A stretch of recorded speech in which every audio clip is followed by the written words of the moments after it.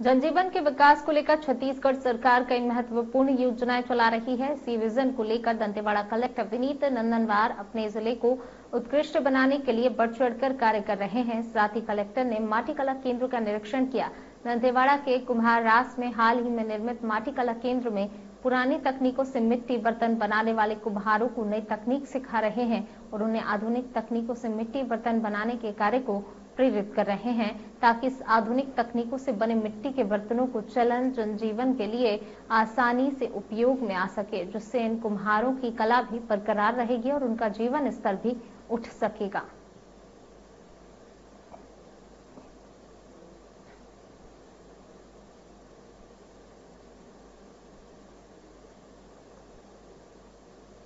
मुख्यमंत्री जी के जो निर्देश पे और मार्गदर्शन में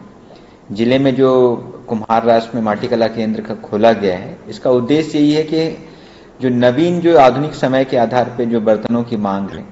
उसके आधार पे जो है हमारे जो कुम्हार हैं, उनको जो कैसे जीविकोपार्जन और रोजी के साधन उपलब्ध कराए जा सकते हैं। बेसिकली जो पुरानी जो तकनीक हुआ करती थी माटी जो मिट्टी की बर्तन बनाने के लिए, वो एक पारंपरिक तकनीक हुआ